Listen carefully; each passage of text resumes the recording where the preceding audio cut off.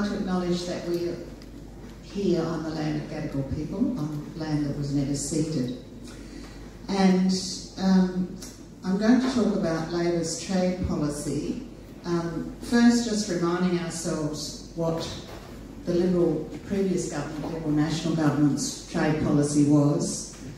Um, and it's very much in this tradition of neoliberal economic policy. So it's a sort of subset of a broader policy which is about basically about having very small government, low taxes, and redistributing income downwards, sorry, upwards, um, taxing working people more and taxing business less. Um, but the trade aspect of it is um, having aiming towards zero tariffs or taxes on imports um, and all other what is perceived as barriers to trade and investment. And the idea that each country should specialise in its most competitive exports and import everything else at the lowest possible prices. And that you should have no active industry policies, no assistance to industry um, in addition to zero tariffs. And also minimum gov government regulation not only of um, trade, but also of products and services. And what this does is maximise low cost global production chains for corporations, but it um, intensifies competitive pressures on workers and communities and promotes a race to the bottom on labour rights and environmental standards. And we know the figures on global inequality have got worse, particularly over the last decade. That's not all down to unfair trade, but trade is supposed to lift people's living standards and contribute to greater um, equity. And um, we haven't seen clear evidence of that, although trade has expanded. So what we end up with is a lot of, especially in Australia, an over-dependence on imports with narrow manufacturing base and um, unable to produce, as we found during the pandemic, essential medical products, but also other products. Um, and also because of the deregulation of services and so on, uh, and the push to um, have foreign investment in services, um, scarce public health services to deal with the pandemic. So, um, the other thing about this whole trade scene is that the whole process is very secretive and undemocratic, um, even in parliamentary terms. So um, trade agreements are negotiated in secret, and we hear that they're going on, but we don't know what they're talking about. Um, and, but they are legally binding on governments. And we don't see that the text until after it's signed. Parliament doesn't see it and the public doesn't see it until after it's a done deal, uh, which is a decision made by Cabinet, not Parliament. There is a Parliamentary Treaties Committee review, um, but the committee can't change the text, um, can't change what's been agreed. And there's no independent studies done of the economic or social or environmental or health or other impacts of these agreements.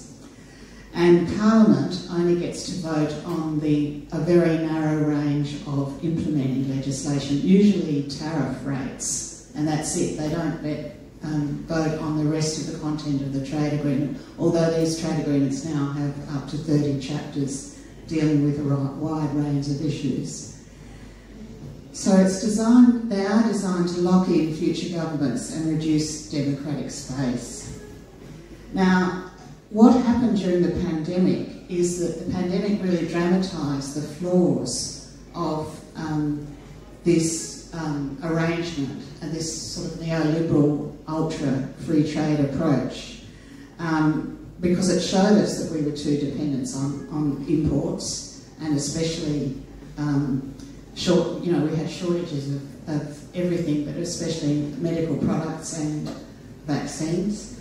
Um, it showed us that the temporary worker arrangements that are often made in trade agreements where you have workers who are tied to one employer and can be deported if they lose their job, they weren't entitled to any support from government during the pandemic. Um, it, it showed um, how uh, there were there was restricted, potentially restricted regulation of essential services, and this came up around the debate about the Aged Care Royal Commission when it emerged that it wasn't clear that aged care had been exempted from the rules of trade agreement, which say that you should essentially freeze regulation of um, services like aged care that are privately um, run but publicly funded. You should freeze that regulation and not increase it in future. Of course, that would stand in the way of implementing things like better staffing levels, better quality standards, and so on. And um, despite the mantra of free trade, which is supposed to be about competition and lower prices, um, it was very clear during the pandemic, and it's still clear now, that trade rules that entrench monopolies on medicines for 20 years got in the way of access, equitable global access to medicines. Um, so um, that meant that um, the half a dozen companies that had a monopoly on medicines globally got to decide how much and what price medicines, uh, vaccines and other COVID medicines were distributed. And of course, we still have less than 20% of people in low income countries being vaccinated. And that's a trade rule in the World Trade Organization and in our free trade agreements. And we've been campaigning to, to get a waiver on that uh, related to the pandemic, but I won't go into that now. Um, and of course, we've also had the additional legal rights for corporations to sue governments over changes in regulation, um, called Investor State Dispute Settlement or ISDS. This is the rule that allowed the Philip Morris Tobacco Company to sue the Australian government over our plain packaging law.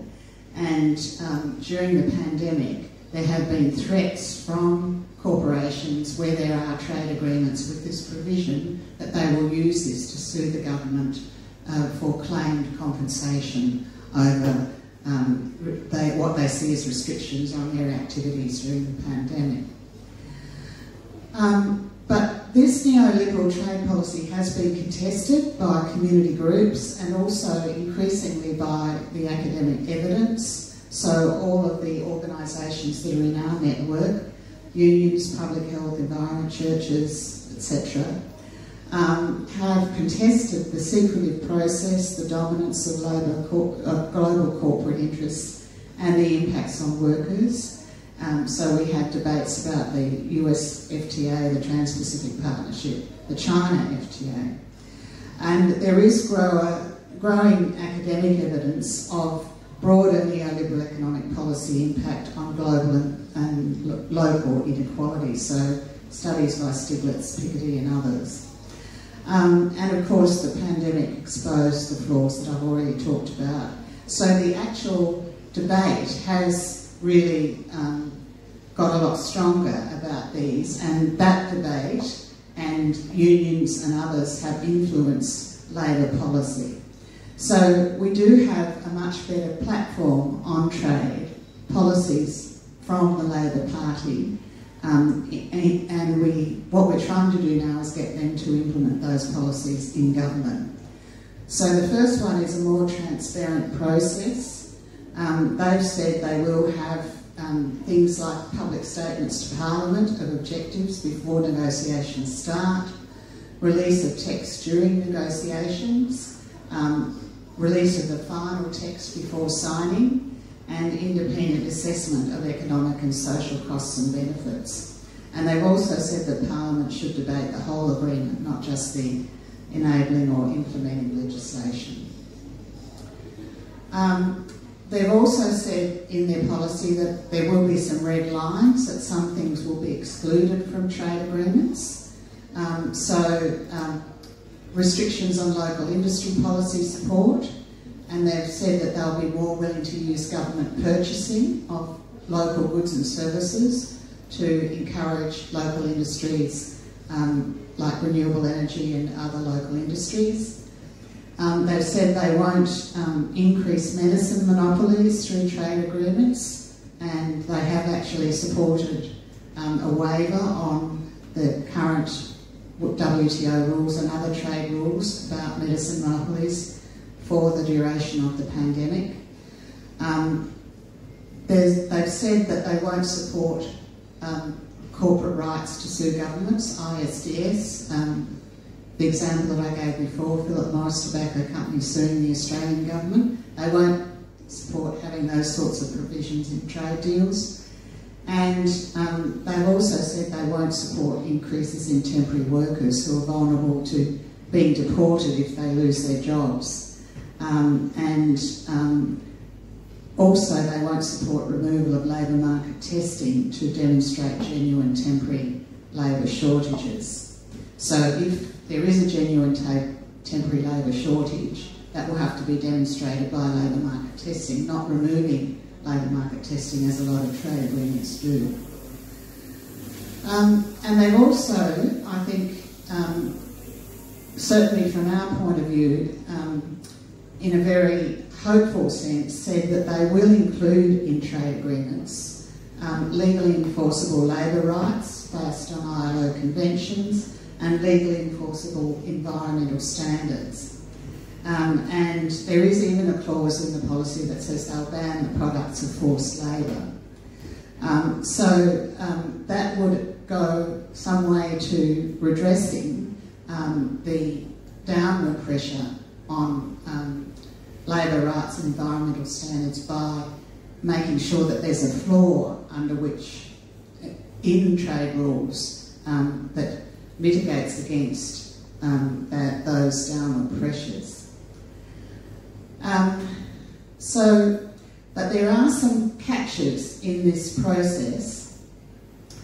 And one of them is that the policy did say that in opposition, Labor was not obliged to block trade deals uh, that had these red lines in them. Um, but once it gets into government, it will actually implement those uh, red lines and other policies. Um, so that meant that Labor in opposition did vote for a number of trade agreements which had some of these red lines, like the Trans Pacific Partnership, which changed its name to the Comprehensive and Progressive Trans-Pacific Partnership, um, the, and free trade agreements with China, Indonesia and Hong Kong, which all have um, the, um, both the corporate rights to sue governments, or ISDS, and increased numbers of vulnerable temporary workers. Um, so one of the questions we're putting to the government is, because just before the election, the government signed a deal with the UK and an interim deal with India. Um, what we're asking them is um, will they um, support those deals even if they include some red lines and will they be willing to renegotiate those red lines? And the India agreement is an interim agreement. There's um, a schedule to to negotiate a more comprehensive agreement with India. And again, we're saying that they should implement their um, new consultative process for that agreement and for the EU trade agreement, which is also still under negotiation, and any future agreements. In other words, they should implement the policy for a, a more uh, transparent and inclusive policy. Um, so, um, it's interesting that with the EU, for example, they're good on saying that they want to have environment and um, labour rights, um, but because they have a very big pharmaceutical industry, they've actually asked for some longer medicine monopolies. So we'll be certainly saying to the government they shouldn't agree to that because that's one of the red lines as well. Um, there's also, the previous government had proposed a negotiation with the Gulf um, countries in the Middle East, which include um, Saudi Arabia and Qatar and a number of other countries which haven't even signed agreements on human rights um, and um, labour rights, you know, through the UN or the ILO, and they have very notorious um, violations of human rights and labour rights. Um, Saudi Arabia, for instance, recently executed 80 people. um, a mass execution. Uh, and of course, they have a bonded labour system as well. So, what are the chances that Labor will do this? Well, there'll certainly be pressure on them from the labour movement and from other civil society groups to implement the policy. Um, but some of the, the pressures that we'll face is um, the context that they're operating in, that there's a growing strategic competition between the US and China. Um, and this occurred after we negotiated, with the government negotiated, the Liberal National Government negotiated a, a um, free trade agreement with China. And it's worth saying that at the time, unions and civil society groups said to the government, China has a very bad labour and human rights record, and we should be not um, negotiating a um, free trade agreement, which is essentially a preferential agreement with that country until they do something about that record. Uh, at the time, the government completely ignored us. Um, but now, because of increased strategic tensions, um, they're very more, much more prepared to um, admit that that's the case.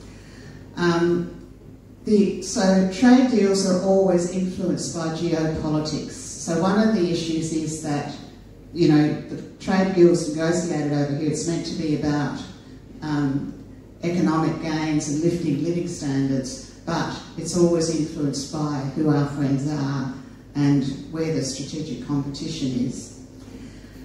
Um, so that current trade deals with the United Kingdom and India are part of a strategic alliance. So they've got to be seen in the context of AUKUS, which is the US, UK, Australia defence arrangement, and also the Quad, which is the US, Japan, India, and Australia. So both of those agreements were kind of hurried up last year because of those defence and strategic agreements. So there'll be pressure to agree to those agreements for defence and strategic reasons. Um, and um, the danger is that things that um, red lines will be, will be ignored because of that pressure. The other pressure we face is um, corporate lobbying and advice from especially corporate lobbying that want to have provisions in trade agreements that suit them, not necessarily um, that will lift living standards and be good for everyone. And also um, the, um, especially the senior levels of the Department of Foreign Affairs and Trade, which um, have very much, operate very much in a neoliberal um, type um, framework. So basically what we have to do to support trade justice is campaign, I think, for Labor to implement its progressive trade policies.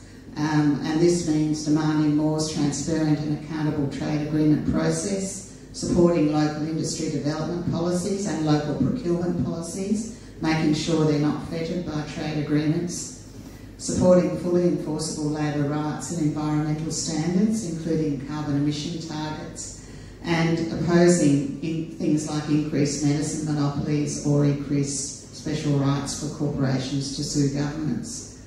Um, and also um, opposing things like um, the removal of labour market testing and increased vulnerable temporary workers or restrictions on government procurement.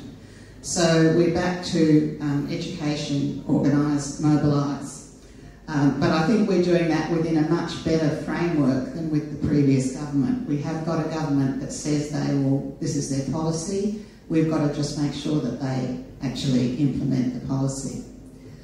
Um, and I'll just, there's some information there about our network. We're a network of 60 community organisations. Um, as Peter said, we had our 20th anniversary during the pandemic. Um, we have current campaigns on equitable access to COVID vaccines and treatments, more transparent process, and on those current agreements with India and the UK and the EU. And there's some, um, you can go to our website to donate or join or support us. We've got a Facebook page, and we've also got some tea towels um, for our anniversary, which have Tandberg cartoons um, this one, my this is this one is about the um, Philip Morris case against the um, plain packaging legislation. And this one is um, actually um, about the secrecy of trade agreements and the debate that took place when we uh, when the TPP was going through Parliament, where the government said that anyone who questioned it or wanted more information was just against, you know, progress and trade. Um, so if you like a tea towel, they'll be um, they're ten dollars each if you want to uh, buy one, and we've got a credit card facility if you're interested. Um, so thanks. I'll leave it there. So I'll kick off by acknowledging the traditional owners of the land on which we all meet today and pay my respects to our elders, leaders past and present. Uh, I also want to thank Peter uh, for the invitation um, to come along and speak today. He's always thinking of me when he puts on these events and I, I try to make time to, to get here when I can and uh, to be honest, I missed a few up uh, because I put them in my diary in the wrong day, so I owe Peter um, um, a few uh, back and I said to him, anytime you need me, I will be here.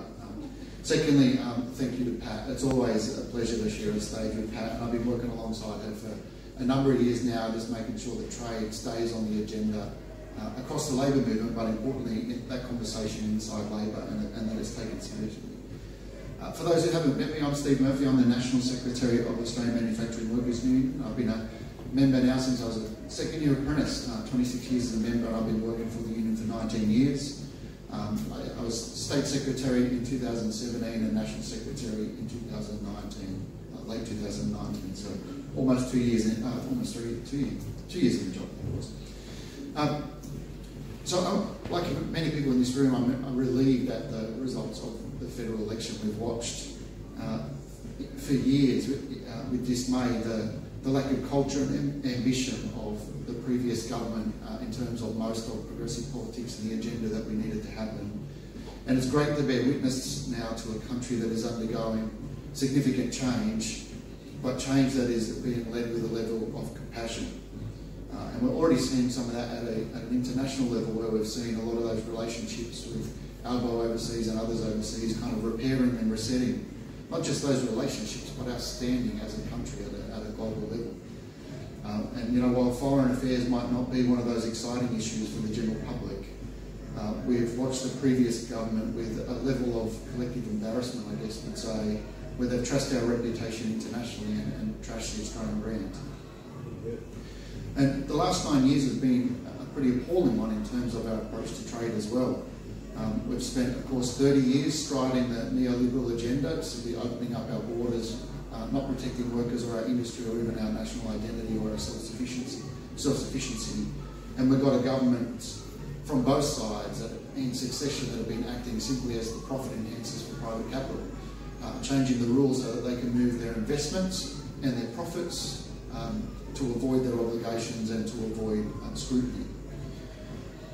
Now, if you've ever spoken to me in the past um, about free trade agreements, I usually talk for a long time, but it will mostly be focused about the decimation of regional jobs all across Australia, where we're filled into believing that if we sign up to this free trade agenda, um, that we'd all be driving around in Mercedes Benz and that we'd all, all be kind of lifted up um, the ladder uh, with the promises that we made. But the truth is, we traded away tens of thousands of good, reliable, well-paid union jobs that regional Australia could rely on, that kids could rely on, a job coming through, uh, so that we could buy a fridge for $70 cheaper.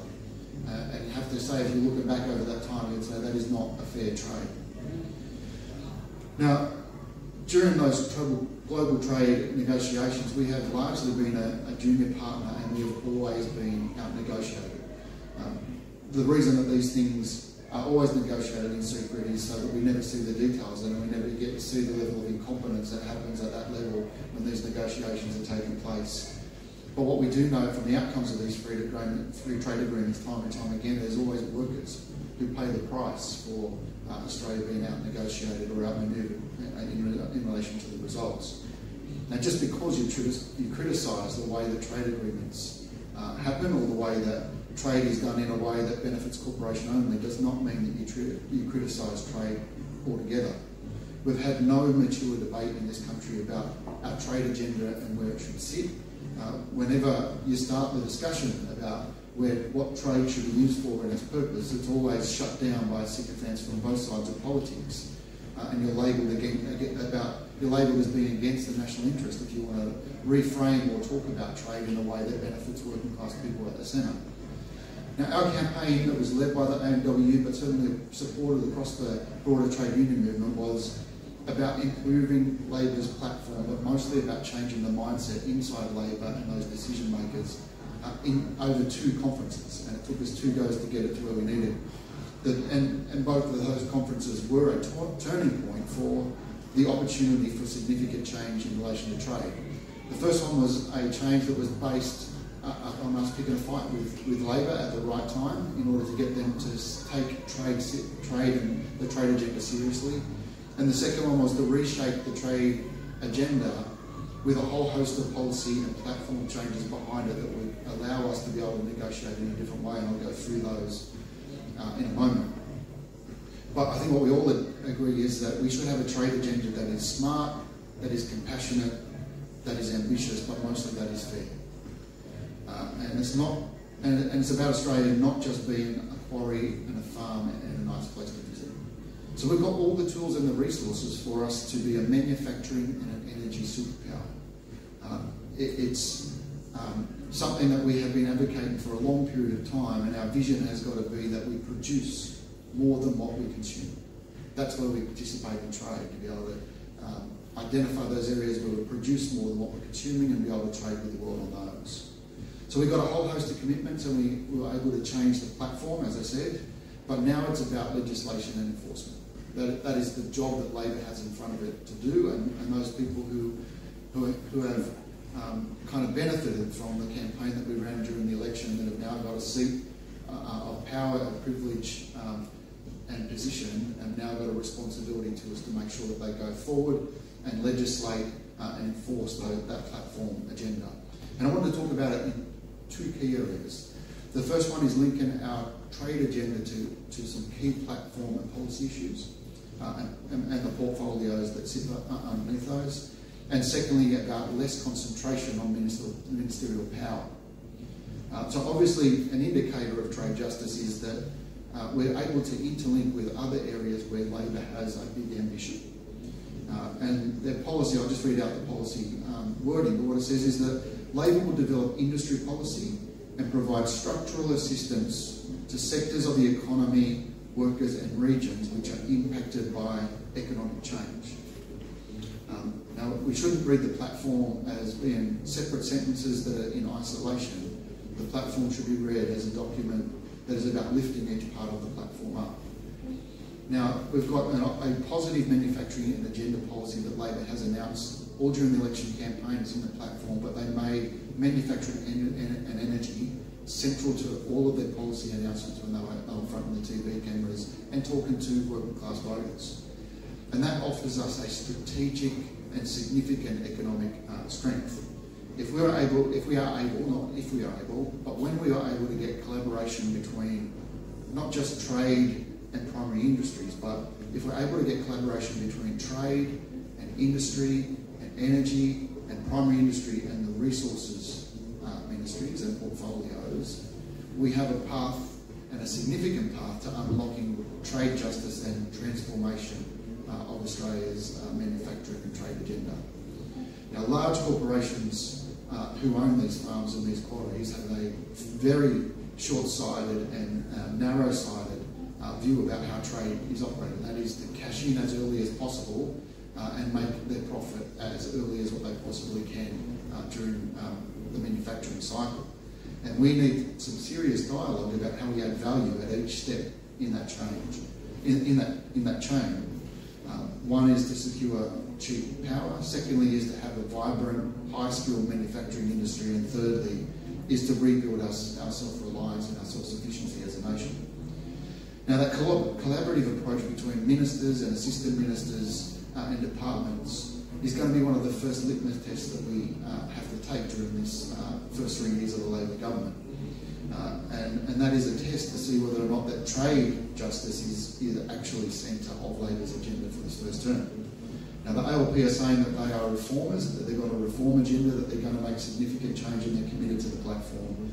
But we've got to keep doing work outside the par- Parliament to, to lead that ambition and make sure that Labor does not lose its courage during this.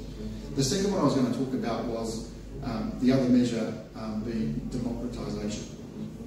Now, um, they have committed in the platform to having a Labor advisory committee on trade, uh, and secondly, legislating that there's going to be transparency. And there's a couple of measures that you do in terms of uh, transparency on the way through, but transparency after the agreement is made.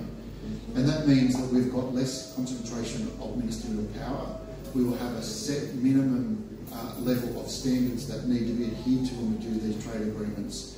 And thirdly, that there's going to be an independent assessment on how well we went during the negotiations and what the economic benefit is to Australia. And all those things have got to be done before the agreement is signed. And you can see from that that the labour movement, civil society, and that small business have got an opportunity uh, to jump in, to scrutinise, but mostly to participate in what our trade agenda is going to be at a national level and to reshape that in a way where we all benefit. Um, it reshapes um, how negotiations happen and it will make it harder to undo the changes that we're able to make, which are positive. One, of the other things it will also do is that it will make it harder for other governments, meaning governments of other countries, to be able to sit, part, sit by and just wait for there to be an electoral cycle and hopefully a change of government back, back the other way, and they'll be forced to build relationships um, that are based upon fairness and based upon trust. Now, our opportunity um, for influence uh, at a world stage, meaning Australia's opportunity for influence, is only is only um, as big as what we allow ourselves to make it. And that means that we need to have a minister and assistant minister that have a big agenda, a big vision, and um, have got a department and a number of departments, sorry, that are prepared to back that in and make it live. And I am told that uh, Labor is going to make this a priority, um, that they are going to craft the words of this with the intention that it's going to make it hard for future governments to undo um, uh, this uh, democratisation of um, the trade agenda and negotiations. Now, both of those changes um, by themselves might seem as though they are insignificant and not um, something that is going to be a great big splash. Um, but we have to get those ingredients right in order to reshape trade and make those first few steps um, to show that uh, Australia is going to be a leader when it comes to it. But the truth is that fair trade is, is in need of a, a desperate makeover. Um, it, it, to many, uh, trade is an issue that is very, far too complex and, it, and it's too hard to unravel. Uh, and we need to reframe trade to be um, a, a, lever to progress our, nation, our nation's ambitions, but secondly, that it is a lever to deliver justice to working class people all around the world. Um, now, our labour movement has also got to have some serious conversations internally, but a conversation with people all across the country. And that is, we've got to bring people with us and reframe this in a way that empowers people to participate and empowers them to make an impact when it comes to this trade agenda that we've got to roll out.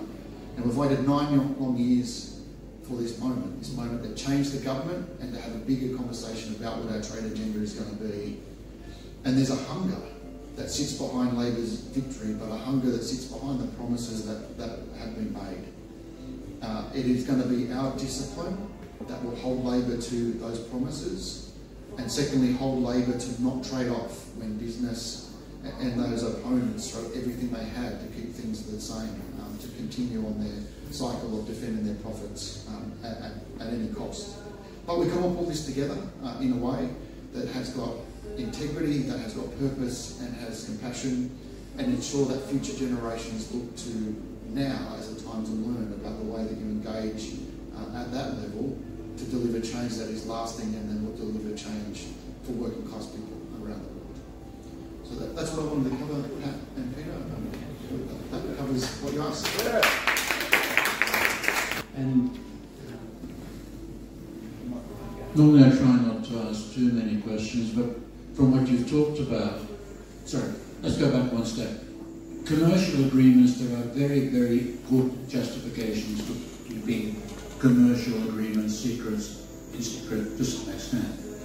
But to what extent are political parties motivated, like previous governments have been a Labour already. Oh, okay. To keep these agreements secret, is it to protect the, the, the politicians' corruption or to protect the politicians' incompetence? So, um, yeah. the justification of commercial in confidence for trade agreements really doesn't work anymore. Um, I mean, I don't think it was ever really justified, but it was supposed to be about uh, things like um, tariff negotiations. Um, well, no, not trade secrets. They negotiate about IP rules, intellectual property rules, but they, they don't actually talk about the detail of trade secrets in trade agreements. And the, the best evidence of no justification is that the EU now publishes its own um, uh, proposals for text uh, as they go along in trade agreements. They put them on their website. That's how we know they want oh. longer monopolies on medicines. And they also publish the final text of the agreement before it's signed, and they do publish evaluations of it as well. So it can be done. But that was a result of huge public campaigning in the EU.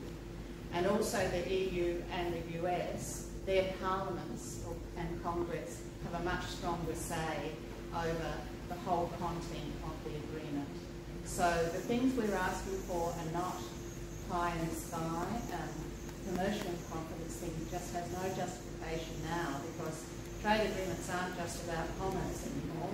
They're about medicines, public procurement, um, all the things that we've talked about, industry policy, which are issues of public interest that should be subject to public. Yeah, thanks, thanks very much, uh, Pat and Steve, for excellent presentations. I found that very informative. And also, the, spirit is good. I mean, the old adage, change the government and you change the country. Well, maybe. There's, there's potential here, isn't there, for really movement of a sort we haven't seen for a decade or more. Uh, but uh, as you both emphasised, it's really up to the labour movement and progressive organisations to make sure that things that are agreed in principle get implemented in practice. And I'm sure we're all very conscious of the fact that it's not just a matter of the labour movement and organisations like AFTINET bringing pressure to bear. It's also a matter of anticipating the other forces at work. I'm thinking of the interests of capital uh, in particular. I mean, we're, we're not going to see corporate interests just uh, shut up shop because uh, we've got an Albanese government rather than the usual uh, Conservative coalition one. Uh, so I'd, I'd, like to hear a bit more about what you think is going to be happening on the other side, which I know mean the, the coalition politicians, I mean they're out of the picture but, but the corporate interests and how they're going to play the current situation from, from here. And in particular, what will happen if Labour is forced around those red lines that you were referring to, Pat, to perhaps back off from crossing them, which then violates the very principles that you're advocating. What, for example, if Labour says, oh, uh, under pressure from corporate interests, we're not going to implement a particular industry policy, a particular procurement policy, and then we're back pretty much to square one, are we not? So, um, yeah, I did allude to this at the end, and um, there's no doubt that, um, I mean, Steve will talk more about industry policy. I think that there is some degree of certain parts of investors and capital that actually want to have local manufacturing and renewable industry, energy, renewable energy industries and so on, that, that the unions and others can work with. In the trade arena, what we're facing is um, international capital, particularly those parts of capital that are, that are in the old fossil fuel industries um, and um, others, which see their main interests as protecting this global um, production chain um, arrangement, which is which suits them. In other words, they want to have the maximum flexibility to move their investments wherever they want, to trade whatever products they want, and they don't want to be hindered by um, uh, local industry policy or even the obligations to um, treat workers decently or have um, higher environmental standards. And they use trade agreements to have weapons like um, rights to sue governments if they change their policies, um, as we saw with the tobacco case. And of course, there, those sorts, where there's trade agreements with those provisions, fossil fuel companies are now using them to sue, for instance, the Canadian uh, government's being sued because the province of Alberta is phasing out um, uh, coal and, and other fossil fuels for energy uh, production. So um, that they are very powerful forces.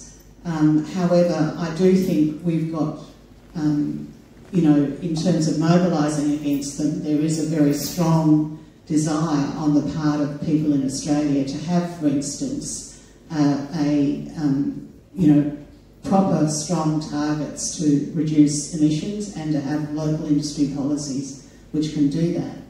Um, the other thing I, I do think that I alluded to, and I think is a bit of an obstacle too, is this idea that trade gets subsumed into strategic competition between the US and China in particular, and that Australia just kind of goes along in the wake of the US policy. I think there is a bit more possibility with a new government to have somewhat more independence in some of those areas, but um, they're under enormous pressure. And um, before the election, they indicated that they, um, of course, by agreeing to AUKUS and so on, that they're very much in that um, framework. So um, making sure that they stick to their trade policy and not get subsumed by that um, is going to be another challenge. Okay. Yeah, I was just going to add that, you know, I think that large corporations, when they get a sense of what Labor's agenda is going to be uh, in terms of um, uh, uh, manufacturing and, and trade, uh, are going to push back. Um, you know, you have a look at the way that uh, the mining industry responded uh, when, were, when Labor was proposing a, super profits tax, um, where they were prepared to spend um, a, huge amount of money to defend what is uh, what they see as their um, unilateral right to generate as much profit as what's possibly can. And the only thing that's less measurable than their profits is their level of greed. So I think what we will um, no doubt see um, when Labor starts to reframe the debate about these things is a, a big push from corporates and um, their, their kind of lobbyists that go into the parliament to influence political decisions. Um, secondly, I, I, just wanted to kind of um, touch on uh, how serious I think this agenda that has been committed by Labor is. When, when I say serious, how, how serious um, Labor is committed to, to the agenda. Uh, so we did a whole host of work in the lead up to the federal election uh, via the AMWU uh, through our Support Aussie Made campaign, uh, and we were successful in getting um, Anthony Albanese and the Cabinet to endorse uh, our pledge. Uh, and our pledge has three parts to it. The first one is to rebuild Australian manufacturing with good union jobs. And to do that in three ways. One is to bolt down what we currently have, to secure our supply chains at both ends, so to feed in the feed out, so adding value. And the third one is to identify those industries where uh, they are newer and emerging and that Australia should try and get a foothold in there and be a world leader and hopefully uh, a, a world exporter. The second uh, area that they committed to was a big agenda on skills uh, and skills for workers. So skills that we need right now, skills that we need for the future, and the third part being a huge opportunity for young people to get an apprenticeship into a trade and to change their lives. And the third agenda that they committed to as part of Support Aussie Made was to have workplace laws that um, create fairness and power for working people. And what we've said is that all three of those are inseparable. They all work together. Without one, you can't um, benefit in the other two. and, and they've signed that pledge and um, are committed to delivering it in government. Uh, and we'll see a whole host of work that is being done around industry policy, policy to go and support that. The two things you need to make that a reality are money and political will. Well, Labor has committed $15.2 billion to rebuild um, or reconstruct Australian manufacturing, so they've got the money. Secondly, we've got two really committed ministers in Ed Husic and Tim Ayres, uh, who I've met with both and um, are absolutely determined to make sure that that manufacturing agenda is front and centre. An idea, um, or an example, I guess would be the better way to think about this, is that we are about to move into being a huge miner for lithium, being that that's going to be made into batteries into the future and will power the world's energy needs. We've got one of the biggest um, kind of reserves of, of, of lithium in the world. The agenda is going to be, hopefully, that we don't just dig that lithium out, put it on a boat, send it overseas and buy back the finished product but we refine it, we manufacture it into batteries, um, we um, become self, we, we, provide ourselves with the batteries that we need for our own energy needs in order to, to get us to the point where we've got the cheapest energy, renewable energy in the world. But we also export those batteries under the guise that when they reach the end of their life that we bring it back, that we recycle it and we make new batteries out of those old batteries. And that's the kind of visionary industry policy uh, that Australia had under the Button Car Plan that I think that we will see under Husic and Ayres uh, industry policy plan. Okay. And that sounds good. Okay. Andy. Thanks, Peter, and, and, and congratulations to the two of you. I think it was terrific, very inspirational.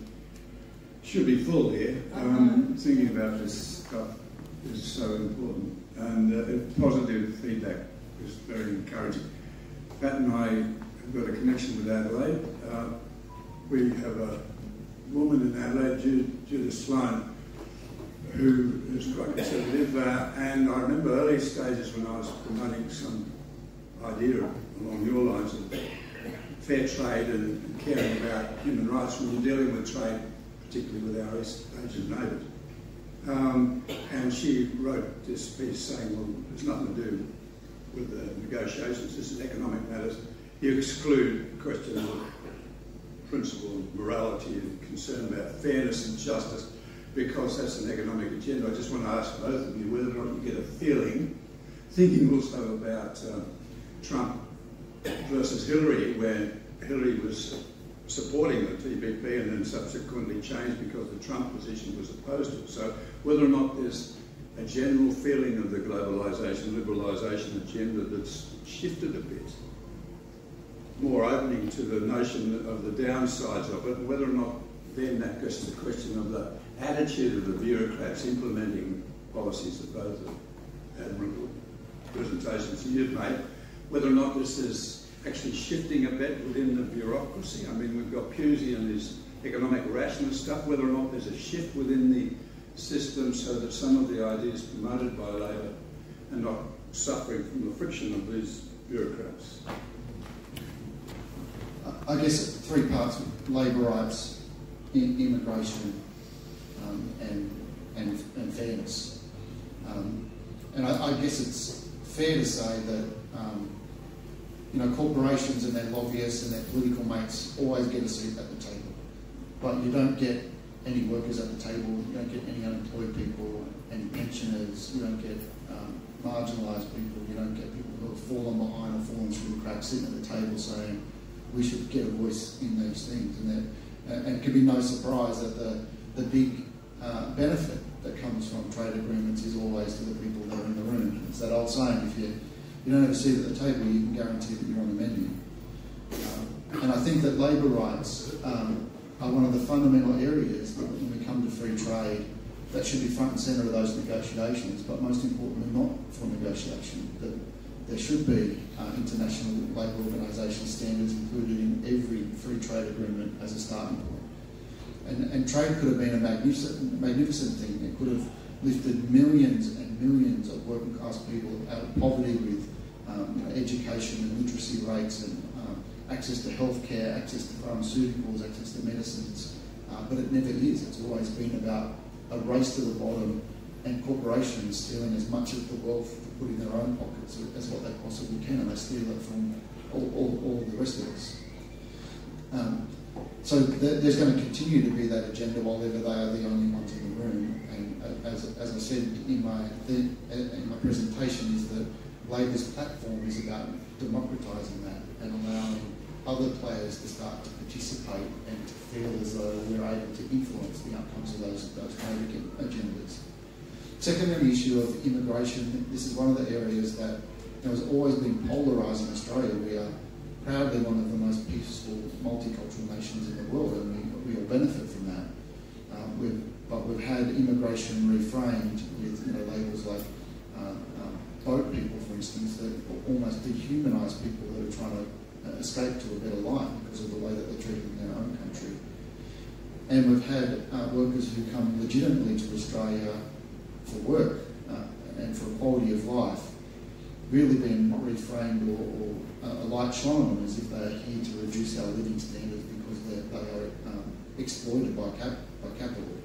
Uh, and I have had some initial conversations with the industry minister that says that we should have a skills migration program in Australia and they should be not, should not be temporary work visas, they should be permanent migration um, uh, in those areas. Uh, so we're working through a, a, process to identify what are the skills areas where we need um, bring people in, but that doesn't mean that that is our only immigration source. We need, we need to bring uh, people to safety um, as part of our immigration uh, standard. And the third one, I think, is, is about um, fairness in our region, and that is that we can reframe the debate that rather than chasing the cheapest possible cost for whatever it is that we want to consume, is to start to put a price on the value of labour in our region and to lift working class people, no matter which country we trade in, to lift them up out of poverty and to be able to have a decent quality of, of life. And I remember reading a, quite, I can't remember who said it, but you know, we, we should we should um, we, we should pity the person that wants to buy a coat that is made by someone else who has to live in poverty or die manufacturing. Yes, I, I might just answer the bit about the shift um, or more more criticism of neoliberalism and where, whether it's penetrating the bureaucracy or not. I do think that since the global financial crisis, there has been a lot more holes punched in um, the um, very um, threadbare neoliberal economic theory, um, which just leaves everything to market forces and um, it's really um, that there are a lot more. Well, there's a whole political economy department which Frank's been involved with, but other heterodox um, views now being debated about. Um, you know, what is the approach to economics generally, including trade? And I do think that in particular the pandemic has punched a lot more, the experience of the pandemic has punched a lot more holes in neoliberal trade theory because it has become obvious that you must have local manufacturing capacity to be able to deal with things like pandemics. I mean, we didn't have enough face masks, we didn't have enough ventilators, we didn't have enough capacity to produce vaccines.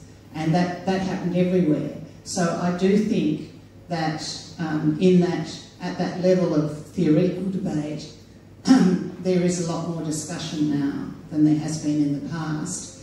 And in terms of whether that's penetrating the bureaucracy, um, I think Labor is appointing some new people at senior levels, I hope they are, um, and advisors who can give them this advice. And I hope that they'll have the um, political stamina to stand up to the sort of yes minister type advice that they might get from some of the um, senior bureaucrats who are, um, you know, steeped in the neoliberal traditions. Um, and I do think there's more ammunition, more actual evidence um, that they can use now than they, you know, that's developed, particularly since the global financial crisis and especially since the pandemic. Hang on to that. Really good talks. Um, it's clear that after so many years of the bad Liberal government, that Labor getting into government is going to change a number of things. There are a number of reforms on the table. That's pretty clear. Um, but we know that they'll also, as government, um, running a capitalist country, that or economy, that they will come under enormous pressure by what Steve said, by the people who are at the table, which are not the workers and not the ordinary people. So one would expect that we would need a lot of pressure put on the Labor government to keep it moving in a progressive direction, rather than succumbing to that, no, well, they'll say to us, oh, we couldn't do anything about it there, this is the way it is, or whatever. So we know that it's only people out in the streets or, you know, taking actively engaged in the issues that will actually keep that pressure up. But traditionally, under a Labor government, the workers are more passive, or tend to be more passive, because they believe, or because they hope, or they believe that. Mistakenly believe. Whatever. Definitely mistaken. Believe that Labor's going to do it for them. And to some extent, what I'm hearing here is that yes, the bureaucrats might do this, or the you know the Labor government, in, you know, and so on will, will do these things. So I'm just, I mean, I like the ending of, of Pat's thing. You know, we're going to educate, mobilise, organise.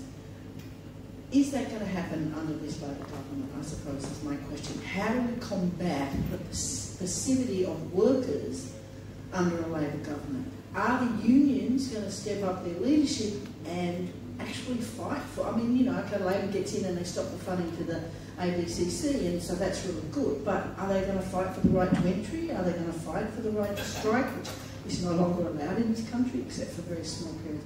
So I just wanted to ask that question. That's a really good question. Um, and I guess the best way to kick this off is that, you know, I've done a lot of meetings with our members uh, over the last 18 months that we've been building our Support Aussie Made campaign. And one thing that rang true, no matter which audience I went to, is that uh, workers don't trust Labor. Uh, the, the, feedback I got was that you know they'll make a whole host of promises to get themselves in, into power, uh, and they'll deliver next to none of it. Um, so we built a campaign that was not um, designed or led by the union secretary, but designed and led by our members. We had 12 rank and filers that were off the job over the course of 18 months, um, mostly in their own spare time, building our campaign and running that on the ground, uh, into workplaces um, supported by me, of course, as the National Secretary, and elevated wherever I could. And the whole idea about that is that it's a campaign that can't be switched off by the National Secretary because it belongs to our members, and they're going to, they've got an agenda now going post-election, where it is about phase four holding Labor to account to deliver on our agenda. Um, and, and, we said from the very start that the election day, if Labor changes government, that is not the victory for us. The victory for us is when we see change for our members at work, which means manufacturing jobs being created, skills being developed, and fairness restored at work. Um, on, the, on the union movement generally and, and participation, um, that, that is something that we've got to be very conscious of, and I know myself that Sally McManus uh, is very conscious of what happened after your Rights at Work campaign, getting Kevin 07 uh, where uh, the union leadership at that period of time, their agenda was simply to change the government and get rid of John Howard. And as soon as the election outcome was delivered, they switched the campaign and all of its infrastructure off. Uh, and I, I, know from my discussions with Sally, who is a magnificent leader of the of the union movement, that there is no desire um, to to be kind of you know lions under the Liberals and um, mice under Labor. Uh, that we are absolutely determined to make sure that Labor meets the ambition that our members hold for them to deliver. Uh, and um, you know, as recently as this, this week, um, talking within the ACTU is that um, you know, inspiring working people is our job every day as union leaders.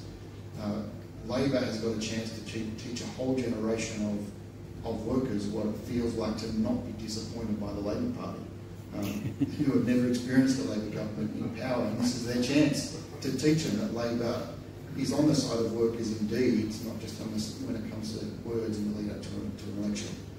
So just in the last week, you would have noticed um, a number of things that have been happening where you can see um, that contrast of, of, the, of the trade union movement. We are continuing to push for a strong IR agenda, and you will have heard that you know, there's talk about defunding and the ABCC and the ROC.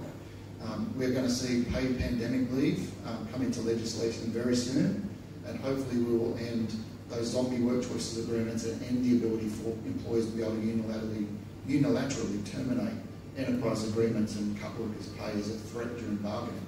We'll see that happen really, really quickly. Uh, we're hopeful uh, if um, we can pull all this together to have a huge IR agenda in place and delivered um, as soon as practical that will restore um, not just working uh, decent rights for workers at work, but to restore that hope amongst working people that Labor is serious when they say they're going to do something. So it's on the Labor Party now to demonstrate that that wasn't just words, it's about deeds.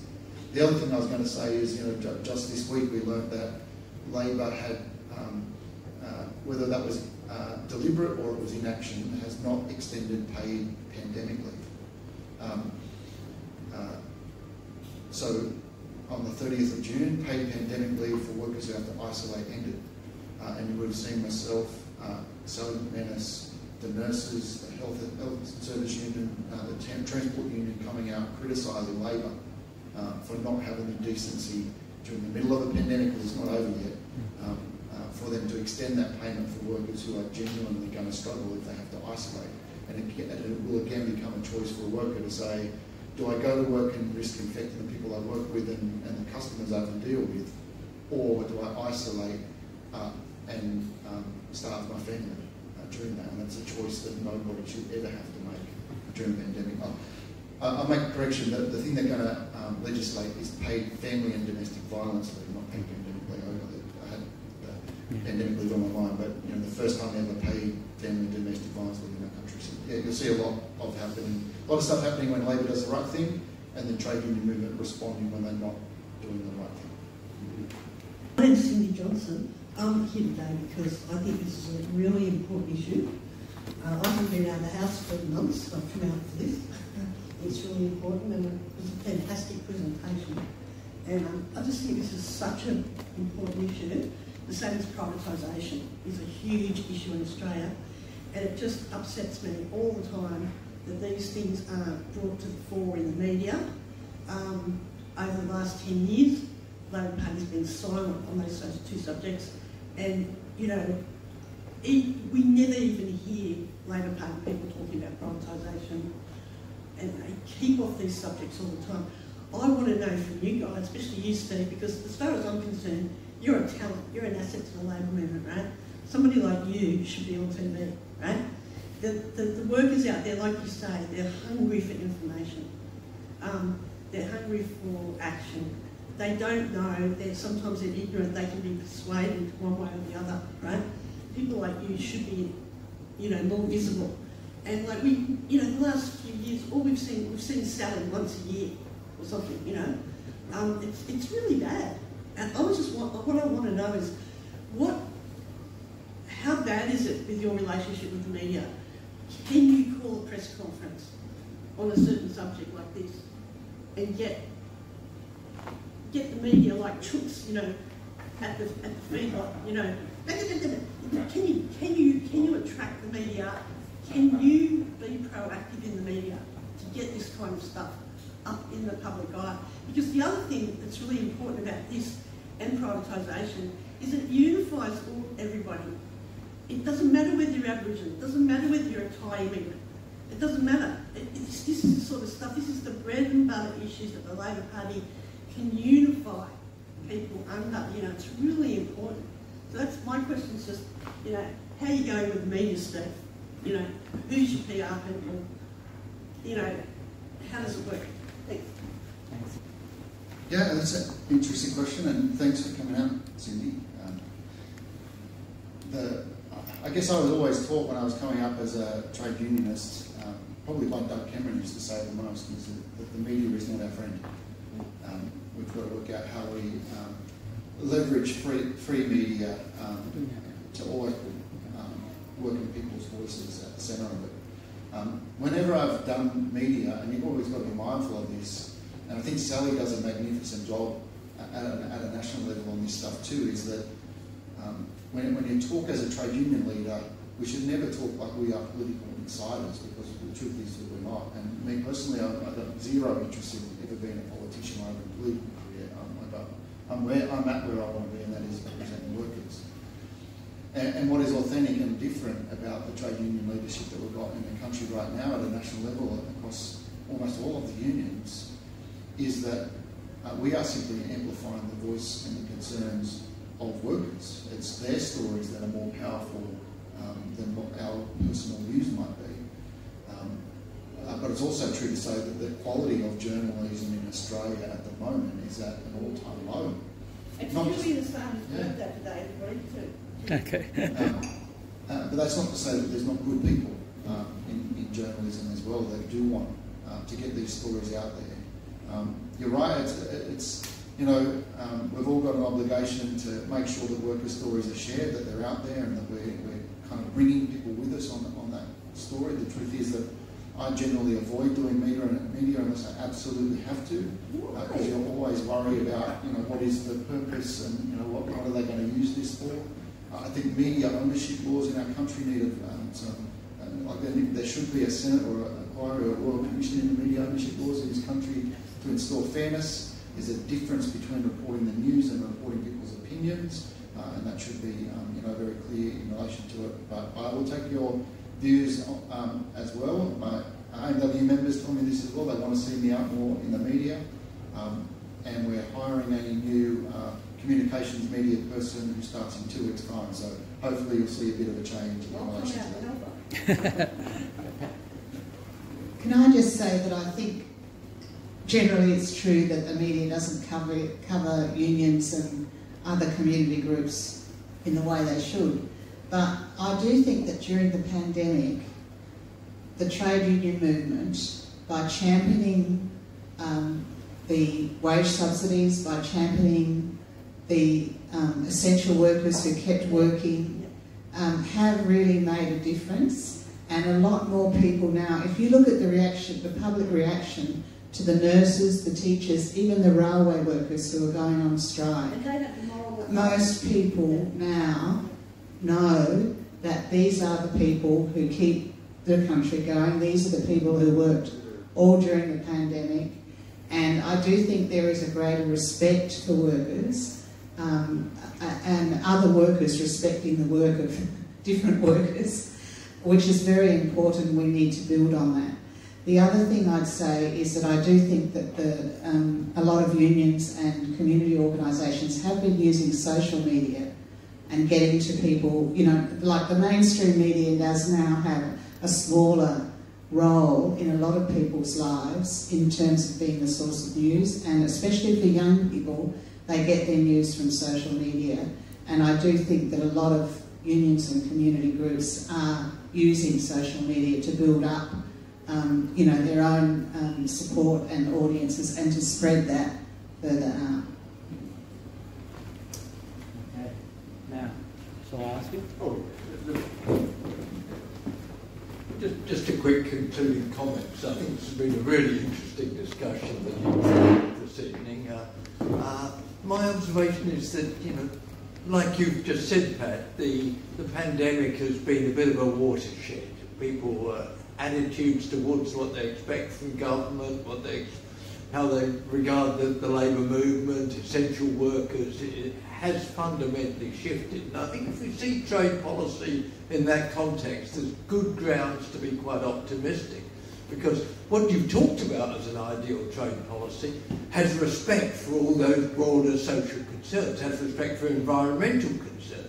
Think of the tremendous environmental issues that are involved in uh, movement of goods around. If we just let capitalists decide on trade, according to their own sectional interests, those broader social and environmental concerns never get on the agenda. They're on that menu, they get eaten instead. So I, I think if, if we can think of Labour being in office for more than one term of government, because this is not an area in which you get quick wins. I mean, the quick win outlook tends to favour the signing of trade agreements and let the devil in the detail. Uh, but the longer strategy is more like those Accord years. Uh, didn't turn out well in all respects, but did involve a, a, a conscious program of planning transitions uh, to a, a, future that does incorporate social uh, and environmental goals as well as more narrowly conceived goals of uh, economic viability and profitability. So I think if we can get Labour in office for more than one term of government and have that momentum from uh, labour movement, societal organisations, there's tremendous opportunities that are facing us here in Australia right now. And indeed, some sections of capital will come on board because they're interested in local production for local consumption too, particularly in the, the new energy context. This, this is a marvellous opportunity, and I'm delighted you emphasised that too in, in your talk, Steve. So thanks very much to both of you for triggering what I think is uh, a great discussion on a really crucial event. Thank you.